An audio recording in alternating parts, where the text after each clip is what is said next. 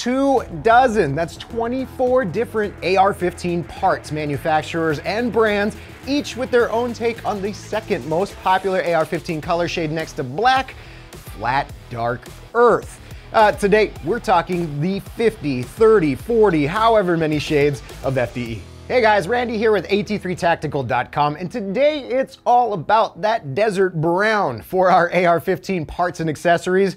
This one's gonna be a blast because I was able to pull 24 of the most popular AR-15 brands from our warehouse shelves open them all up. So watch for some FDE open box sales soon. And now we get to compare everyone's interpretation of flat dark earth. This one should actually go pretty darn quick because not only are we rolling through these two dozen brands alphabetically, uh, we'll leave some chapters down below for you to jump around, uh, but for a standard or baseline comparison, we're putting them all next to Magpul, probably the most popular brand in the entire AR-15 industry. All right, no need to wait any longer. Let's kick the whole thing off with Adaptive Tactical. This is a long-time name in AR-15s and some inside baseball here at AT3 Tactical, the black version of this lightweight pistol grip.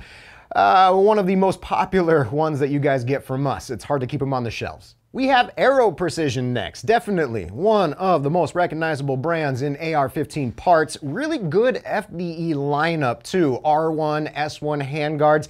You know, actually, if you're looking to one brand to outfit your entire rifle with, you almost could get it done with all Aero Precision parts. Uh, the BREACH charging handle though, anodized, so a little more shiny tan, but pretty close. Amend 2, what can we say? They make some pretty good AR-15 mags, including FDE. Uh, and the bright red number 2 underneath, it's pretty classy. We've got Armaspec up next. Beyond their extremely popular AR-15 stealth recoil springs, uh, these Victory charging handles, they seem to be the second most popular in the Armaspec name. I have to say they did a pretty good FDE matching job parts as well. All right, yeah, we have to throw our own name in the hat here because not only are our own Spear, M-LOK, and Pro quad, quad rails uh, Cerakoted in a rainbow of colors, uh, specifically for our FDE, we color match to Magpul's H267 FDE Cerakote color. Guys, even beyond that, because we're such fans of the Gen 2 Magpul PMag, uh, they only come in black. So we physically break down a lot of J2 uh, PMags, have them Cerakoted uh, right now in FDE, ODG, and pink. Uh, but wait, there's more almost every AR-15 button, switch, threaded part, we have 10 or so Cerakoted color options for pretty much all of them. Here's a pretty popular name, B5 Systems. It's actually one of my favorite aggressive grip textures out there uh, for a pistol grip. Just still wish they would have applied it to the backstrap here. Probably the most recognizable B5 Systems piece of gear, the B5 Bravo or B5's version of the SOP mod uh, buttstock if I wasn't attached to my Magpul SLK, uh, I would 100% have this for my second choice.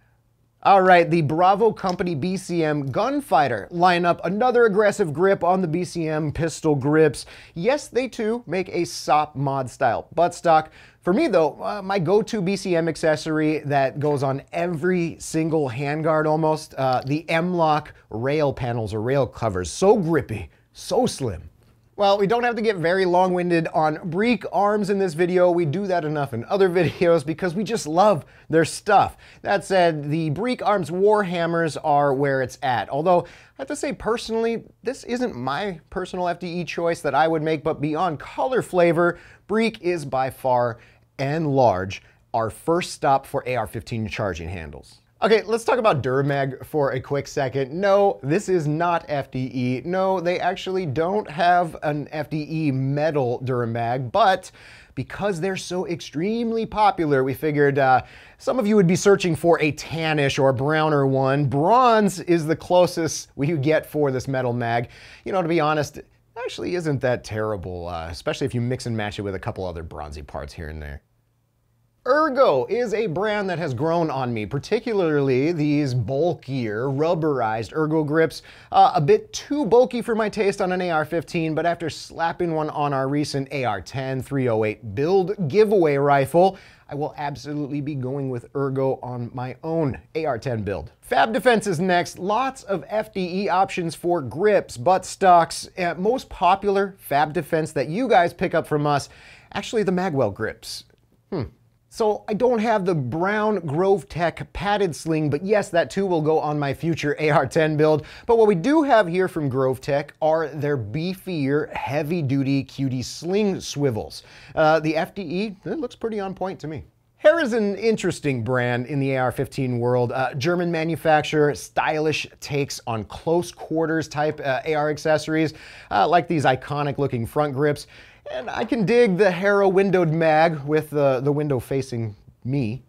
Hexmag, yes, yes, and double, triple yes. At least that's what I gotta say to Hexmag magazines. I've sent so many 5.56, 300 blackout rounds through Hexmag mags.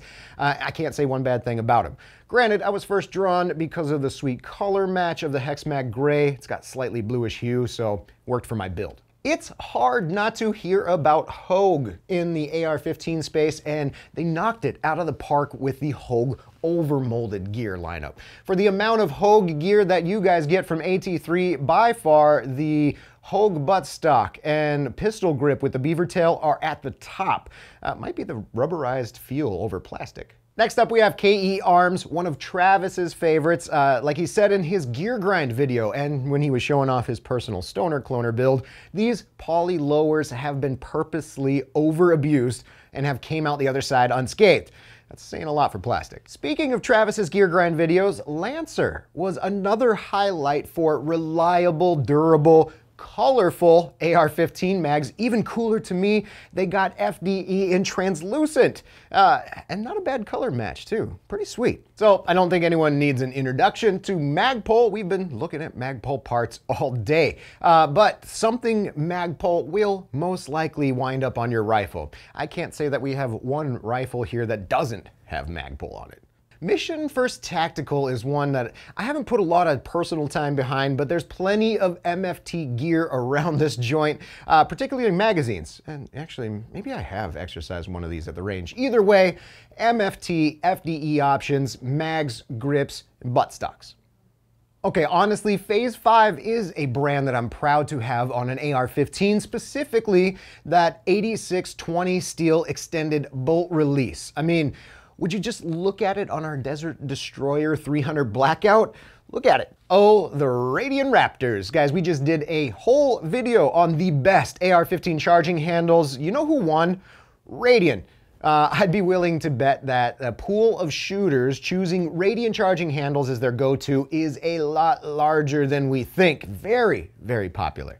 Strike Industries, they do have some pretty sweet looking red colors and gear, but they also snuck in an FDE hand stop under our nose. Here's another brand with a ton of AR-15 parts in a bunch of color options, Timber Creek Outdoors. Almost every button or switch or small AR-15 part that you can swap, it seems that uh, Timber Creek has it in one of their seven or eight different colors, particularly FDE. Check out the Gray Man lineup. Uh, it's pretty cool. We're on to UTG next. Quite a bit of FDE out there. Several variations of buttstock, sweet UTG whole buffer assembly kits. Uh, and I really like the look of this Pro Super Slim handguard. Haven't seen that one before. Hey guys, you know what? I'll actually leave you with Travis's gear grind video featuring the KE Poly arms and his super cool lightweight cloner build. It's right over here. Do not forget to constantly check the AT3 Knowledge Center for giveaways. Maybe this Poly lower might be next. I don't know. Go check out Travis.